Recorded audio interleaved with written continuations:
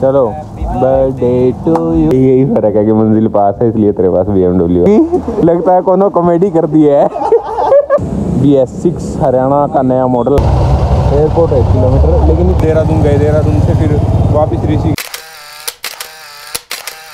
hello friends welcome to your channel Kaushik the traveller में और आज के दिन की शुरुआत, इस वीडियो की शुरुआत हुई है रात को साढ़े आठ, यानी कि नौ बजने में, अभी पंद्रह बीस मिनट बाकी है। तो इतने लेट हम लोग वीडियो की शुरुआत कर रहे हैं ड्यू क्योंकि हम कल को जा रहे हैं कहीं पे घूमने के लिए। एक्चुअली मैं आपको कल सुबह बता दूँगा या थंबनेल में आप देख ही लोगे कहाँ पे जा रहे हैं। तो हम सुबह निकल रहे हैं, मैं और संगम भाई। अभी तक कंफर्म है कि हम दोनों जा रहे हैं और जा भी हम सिर्फ़ एक ही दिन के लिए रहे हैं। बहुत लंबा टूर नहीं है तो दो, एक दिन के लिए हम जाएँगे। तो अभी हमको क्या करना था? पावर बैंक चार्ज करना है लैपटॉप चार्ज करना है, सब कुछ चार्ज करना है। कैमरा लेके इस बार मैं नहीं जा रहा।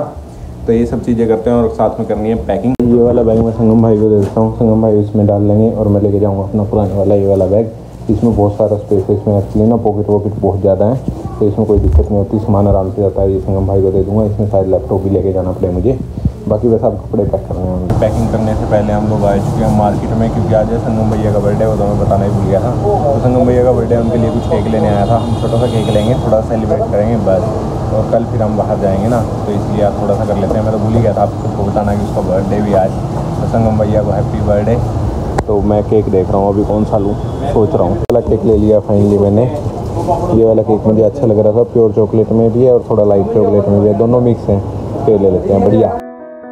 वाह वाह चलो birthday to you happy birthday to you happy birthday to you वाह भाई वाह लड़का। मैं भी आ गया भाई आ गया। सूरा। सारा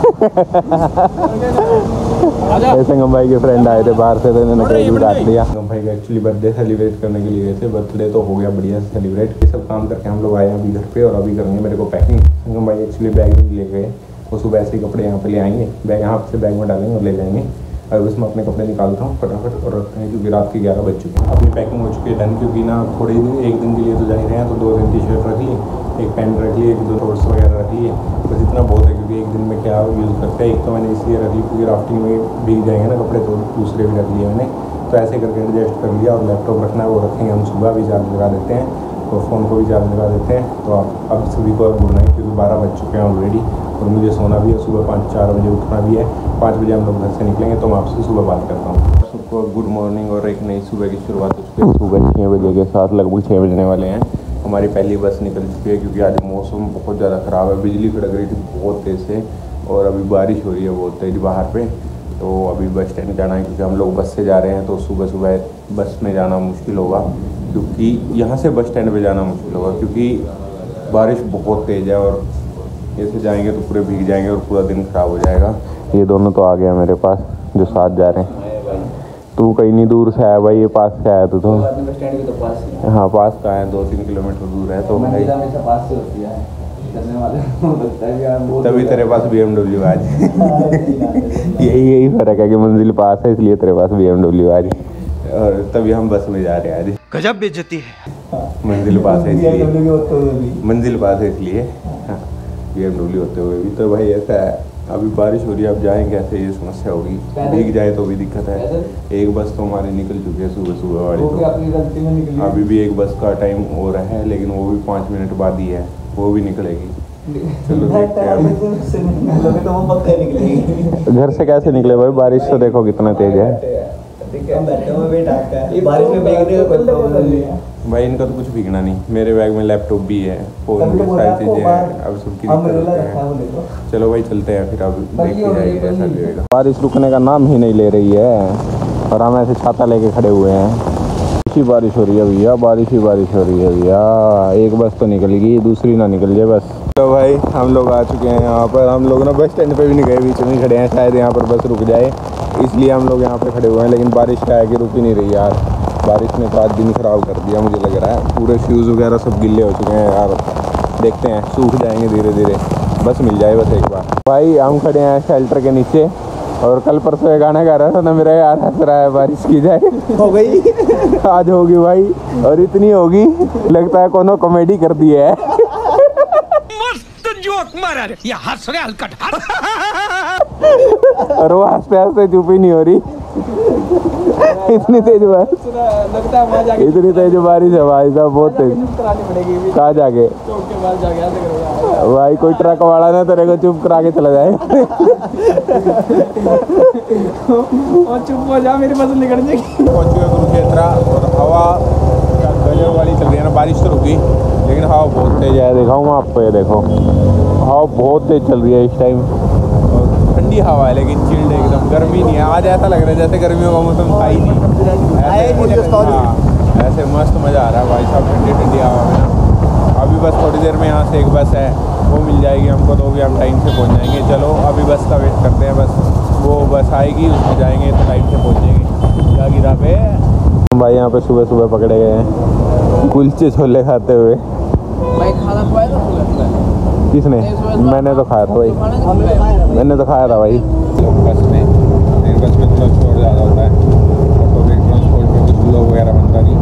लेकिन है, एक चीज़ एक चीज़ अच्छी हुई है हमारे साथ।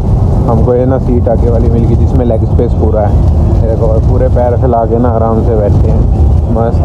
हमने लिए संतरे वाली टोपी और ये ब्लैक वाली। और अभी अभी पता क्या हुआ? मैं व्लॉगिंग करते करते ना संगम भाई का फ़ोन उठा के उसमें वीडियो बनाने लग गया था। मेरे को भी बनाने भाई लोग लोग जलने लग गए जलेंगे तो ही भाई किस चीज़ में जलने लगे ये तो बताओ। क्यों जलेंगे भैया हम आपसे? एक टॉफी के लिए जलेंगे। हो गया। भैया हो गया। अभी अभी पता क्या हुआ? हमारी पानी की बोतल रखी हुई थी ऊपर। एकदम से नीचे गिरी बुढ़ाक से तुम भैया के छाती में बजी थी आगे ऊपर से लगे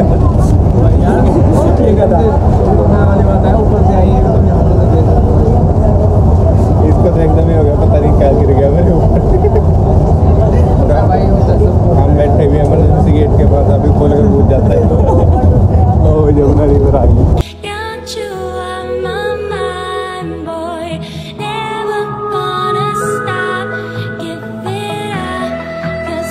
तो थोड़ी देर के लिए ढाबे पे और ढाबे पे रुक के संगम भाई पता नहीं क्या खिलाने की कह रहे थे मुझे। चार पराठे बोल रहे थे पराठे बोले थे ना? भाई बोला तो था भाई कुछ खिलाने को। पराठे बोले थे ना? अबे पहचाना नहीं हो। हमको नहीं पहचान टिकट अपने पास है ना? हाँ। हम तेरे को नहीं जानते। टिकट मेरे पास है भाई। हम तो दो बंदे हैं बस। टिकट अपने पास है ना? बात कर हम दो बंदे हैं भाई तू अकेला है। कौन है तू? हम नहीं जानते। तो भाई अभी जस्ट थोड़ी देर के लिए रुके हैं कुछ लेते हैं यहाँ से लेस कुरकुरे वगैरह ले लेंगे बैठे बैठे खा लेंगे। कितने दे दिखाएगा भाई? कितने खिलाते हैं? तूने कितने खिलाए? एक है कितने खिलाए एक और किसी ने तो दिया सबने खाया है भाई। सबने खाया है, एक एक बात थी सबने खाया। में भी रखे भाई बैग में भी रखे कहाँ है। दिखा दे दो। चल दिखा। दिखा। अगर ना मिले तो डबल दिलाने पड़ेंगे। चलो दिखाओ। देखो भाई छोटे छोटे ऊपर दिख रहे हैं ना। आम होंगे आम। नहीं भैया। ये लीची है। ये लीची है क्या? लीची का पेड़ है। हाँ, अच्छा, लीची का अच्छा। पेड़ है मत- माफ़ करना गुस्से में इधर उधर नहीं। अच्छा अच्छा सॉरी सॉरी सॉरी मेरी मिस वो मतलब मैं समझ नहीं पाया एक्चुअली तो ये लीची के पेड़ है भाई लीची के पेड़ लीची के पेड़ है है। ये लीची है उस वाले पे ज़्यादा लगी हुई है उधर वाले पे। खूब सारी लगी हुई है। तो भावनाओं में बह गए थे हमने इसको भी आम बोल दिया था। पहले किससे अच्छा अच्छा अच्छा अच्छा। नहीं नहीं तो मतलब इनको तब भी नहीं पता कि ये लीची है इसकी चाहिए चाय अच्छी नहीं है। भाई। हम पहले ट्राई कर संगम भाई ने पहले ट्राई की हुई है तो इसलिए नहीं लेंगे। चाय चाय तो लेंगे नहीं। ट्राई करके देखेंगे क्या? जो लग रहा है कि संगम भाई को ये जिसकी लीची का ये बाग है वो दौड़ा दौड़ा के मारने वाला है।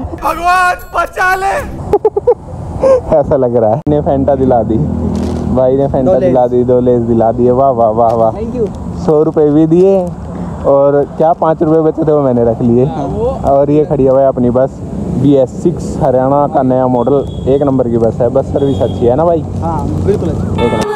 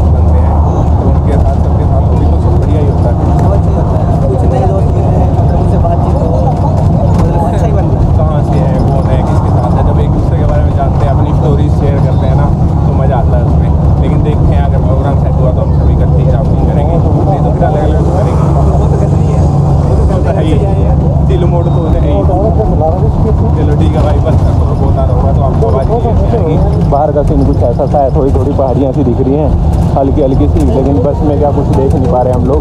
ये बस में पेड़ पौधे आ जा रहे हैं, बीच में ट्रैफ़िक भी है तो पहाड़ियाँ थोड़ी सी दूर है यहाँ से। भाई यहाँ पे ट्वेंटी फाइव किलोमीटर लिखा हुआ है अभी। एयरपोर्ट है किलोमीटर, लेकिन इतनी दूर है तो नहीं वैसे।